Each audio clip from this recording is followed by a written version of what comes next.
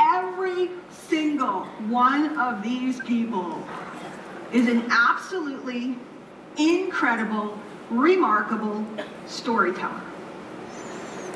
I've heard that before, Diana. We have to tell stories. I keep running into people out at my table. They come over and they go, Hi, you. I go, Hey, what do you do? well, I'm revamping my business right now. They can't tell me the simple story of who they are and what they do. This is foundational. Now, if you want to get advanced, Mark taught you about salting, and he taught you about telling multiple stories at a time to keep the attention of the crowd. It's advanced stuff. So you can learn to tell multiple stories. You can learn to add drama. You can learn to lower your voice. You can learn to be big and blow it up. You can learn to add pictures to emphasize it. But if you can't tell a story that engages a person one-on-one, in a crowd, on a conference call, I don't care where here there, why are you working on iframes for your Facebook fan page? Why are you busy installing WordPress blogs?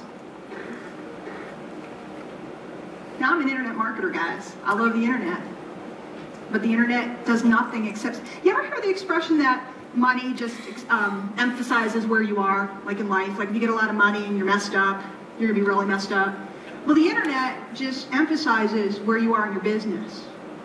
So if you add rocket fuel to poor skills, where are you going to be?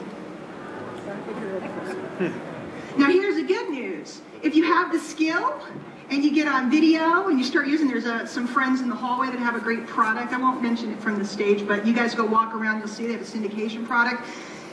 You tell a story and you use something that helps move it faster so that more people see you, what happens? To the moon. That's the foundational skill. Have you seen a speaker yet that can't tell a story? You're not going to see one for the rest of the weekend. So what are you going to write down? One of the things you're going to work on this week, you can tell stories. I don't care if you got to tell them to your dog. tell a story.